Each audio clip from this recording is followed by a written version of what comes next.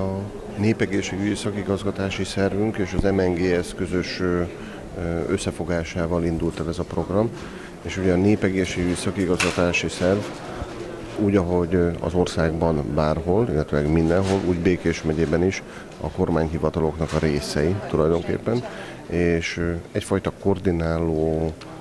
ellenőrző, engedélyező szerepkörben vannak ugye a kormány megbízottak, és mivel ez egy Békés megyei kezdeményezés volt, itt ez a mai sajtótájékoztató is egyébként, onnan indult ki, Gyula, Békés Csaba, ezek voltak az úttörő települések, amelyek részt vesztek ebben a programban, és vállalják a program kitűzéseit, azokat a kereteket, amelyeket a program kijelöl,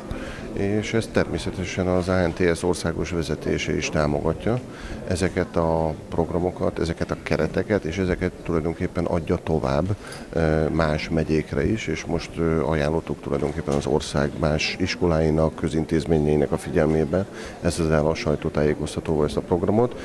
de azt el tudom már most mondani, hogy ez a program már rég túlépte a Békés megyei határokat, korlátokat. Most jött el az a pillanat, amikor úgy látjuk, hogy egy nagy lendülettel még ezt tovább lehetne billenteni, és innentől kezdve nagyon széles kitekintést nyerhet ez az ügy. Az egész országban tulajdonképpen kapcsolódhatnak intézmények, városok, települések ez az ügyhöz. Tehát Békés megyében már azt kell, hogy mondjam, hogy kiterjedt a, ez, a, ez a kezdeményezés, de nagyon-nagyon sok országos más település is csatlakozott ehhez Dunántúlon, Észak-Magyarországon.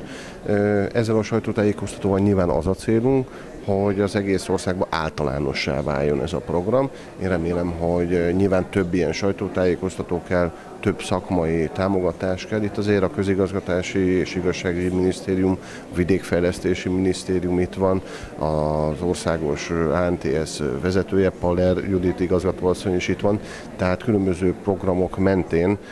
élvezi a minisztériumok és államtitkárságok bizalmát egyébként ez az ügy, a maguk módján támogatják is, amit mi a magunk részéről köszönünk, és nagyon reméljük, hogy országos kiterjedtséget fog nyerni ez a program.